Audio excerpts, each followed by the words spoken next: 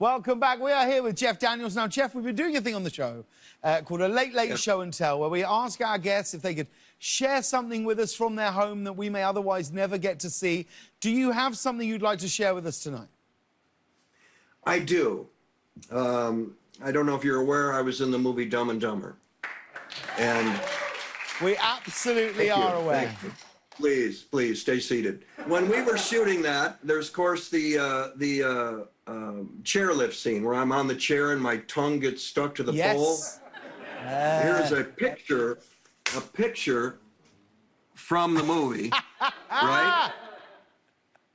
Okay. We made 12 tongues because that, of course, isn't my real tongue. I, it doesn't stretch that far. So this is one of the tongues Oh, wow. that they made that there was a piece that you would put in and and it had an upper and a- fit your mouth and then it had a little screw hole and you would literally screw the tongue in and then it's there. So, That is sensational. What a that's this is my favorite show and tell. Is it true, Jeff? I heard once that your your agents begged you not to do Dumb and Dumber. Is that true?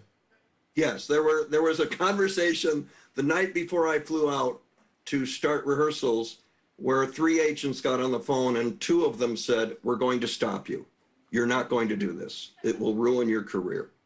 Uh, Jim Carrey is very talented, and with all due respect, Jeff, he's going to act you off the screen. I said, "Okay, um, maybe, but I think if there are three scenes, there's the chairlift with the tongue on the pole, there's the snowball in the head, and then there's the toilet scene. I said, Jim's not in any of those. Unless they cut him out of the movie, I'm going to score. So I'm good to go. And and I said, uh, my decision, I'm going to do it, and I'm glad I did. Jim's been a friend for for life. I just read his. I did the audio book for his memoirs. We've been. I'm so glad I did it uh, for so many reasons. I tell you why I think Dumb and Dumber works, right? Is because I think Jim Carrey obviously is a brilliant actor, but first and foremost, you know, he's done stand up, he's done comedy, all those things. And I think there are many other films where a casting director or a director might look to cast another comedian. But casting um, sort of a just an absolutely grounded in truth actor is the very thing that makes it work, I think.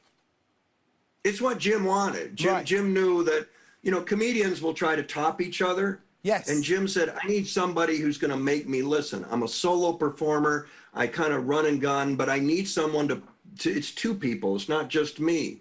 And then smartly, you want Jim Carrey to be Jim Carrey. You want him to be that comic tornado that he is.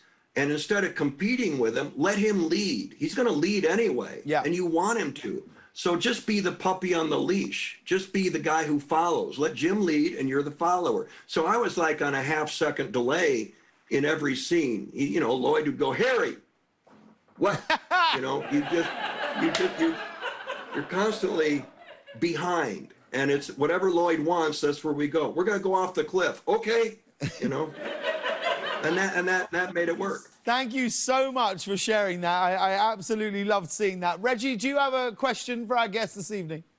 I do. Uh, tonight's query goes to uh, Mr. Daniels. Yes. Yes. Um, what What is the most optimistic thing you've ever experienced?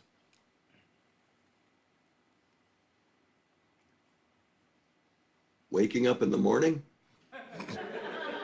Reg?